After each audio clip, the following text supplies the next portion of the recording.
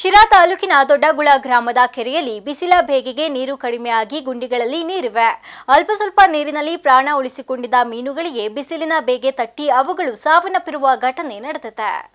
ಕಳೆದ ವರ್ಷ ಮಳೆಯಾಗದ ಹಿನ್ನೆಲೆಯಲ್ಲಿ ಈ ವರ್ಷ ಜನವರಿಯಿಂದ ಬಿಸಿಲಿನ ತಾಪಮಾನ ಹೆಚ್ಚಾದ ಹಿನ್ನೆಲೆಯಲ್ಲಿ ಕೆರೆಯಲ್ಲಿನ ನೀರು ಬತ್ತಿದ ಪರಿಣಾಮ ಮೀನುಗಳು ಸಾವನ್ನಪ್ಪಿವೆ. ಈ ಬಾರಿ ಉಷ್ಣಾಂಶ ನಲವತ್ತು ಪಾಯಿಂಟ್ ನಲವತ್ತೈದವರೆಗೆ ಹೆಚ್ಚಾಗುತ್ತಿರುವುದರಿಂದ ಮುಂಗಾರಿನಿಂದ ಹಿಂಗಾರಿನವರೆಗೆ ಮಳೆ ಬೀಳಿದ ಪರಿಣಾಮ ತುಂಬಿದ್ದ ಕೆರೆಗಳು ಸಂಪೂರ್ಣವಾಗಿ ಖಾಲಿಯಾಗಿವೆ.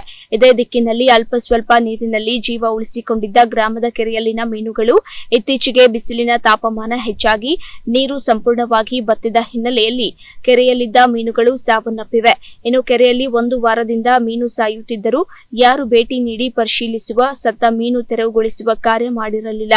ಇದರಿಂದಾಗಿ ದುರ್ವಾಸನೆ ಉಂಟಾಗಿತ್ತು. ಗ್ರಾಮಸ್ಥರು ದೂರಿನ ಹಿನ್ನೆಲೆಯಲ್ಲಿ ರತ್ನಸಂದ್ರ ಗ್ರಾಮ ಪಂಚಾಯತ್ ಅಭಿವೃದ್ಧಿ ಅಧಿಕಾರಿ ಮತ್ತು ಮೀನುಗಾರಿಕೆ ಇಲಾಖೆಯ ಅಧಿಕಾರಿಗಳು ಭೇಟಿ ನೀಡಿ ಪರಿಶೀಲನೆ ನಡೆಸಿ ಮೀನುಗಳನ್ನು ತೆರವುಗೊಳಿಸಲಾಯಿತು.